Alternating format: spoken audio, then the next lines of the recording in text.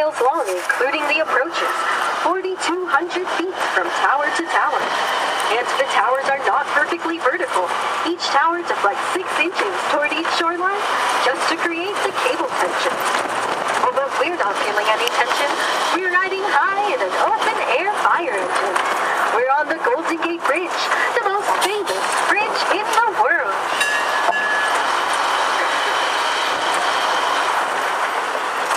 Look up at the South Tower, 50 stories high, 500 feet above the roadway, Art Deco in design. The Golden Gate Bridge is a suspension bridge. The only thing holding up the roadway are these cables we see up ahead. 80,000 miles of wire create the cables that hold up the roadway. And they built the bridge so it could actually sag up to 16 feet should it ever get to be 110 degrees on the bridge. Well, I don't think it will ever get that hot, but we know the bridge sags.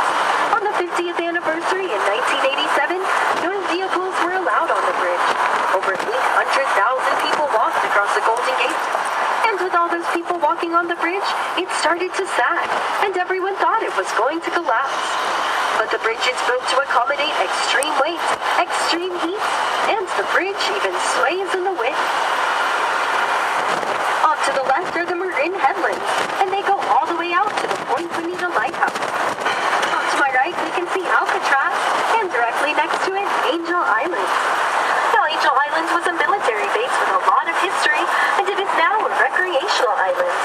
No vehicles are allowed on the island, so you can take a ferry to Angel Island, have a picnic and take a hike, and enjoy the beautiful views from the bay. Also off to my right, we can see the other bridge in the bay, the San Francisco Oakland Bay Bridge. It's actually three bridges, two bridges and a cantilever section, and it's 7.3 miles long.